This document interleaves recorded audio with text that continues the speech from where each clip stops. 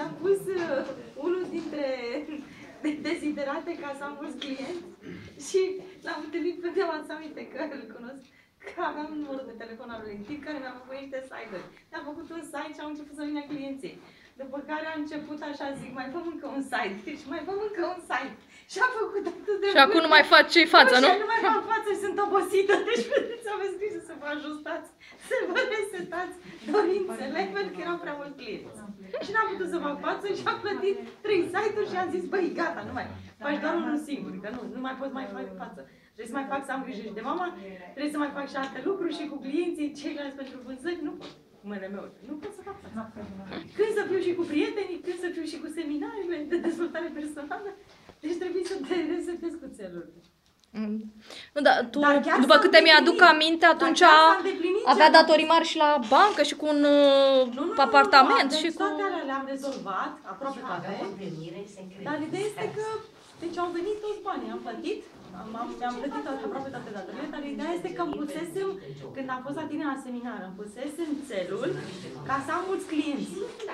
Deci au venit atât de mulți, că nu, nu am putut să fac asta. Nu, dar a început să găsești bani pe jos, după câte mi-aduc aminte.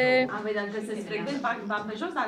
da, înainte nu-i vedeai, că nu mă, erai mi-am cu găsit energia să lor. plătesc întreținerea, am dus la bancomat, am trecut pe lângă un bancomat și mi-am găsit banii de la bancomat, am găsit, iau cineva, ia uitate, eu am găsit banii de întreținere acolo, că mi-am dorit.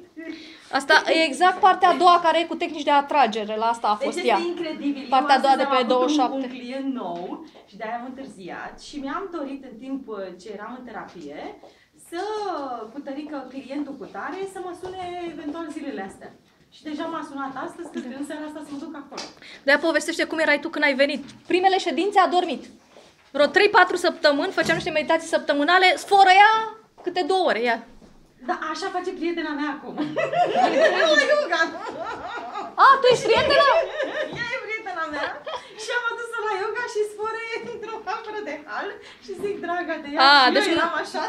Nu degeaba am văzut-o tu acum în versiunea de acum câțiva ani, nu? Aseamănă, aseamănă cu mine, nu? Suntem gemene. Aceleași. Ca gemene. Problem. Da, deci ideea este Mă că bucur mi-am că ești mai dorit- bine, da. Da, dar mi-am dorit să am mulți clienți, dar trebuie să reformulez dorința. Țelul, să-l reformulez.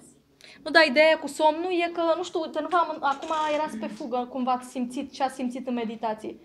Uh, Dar când e frecvența prea înaltă, uh, corpul încetinește, și- dar primește ce poate primi în momentul ăla. Și pe măsură ce trece timpul, atunci primește mult mai mult, știți?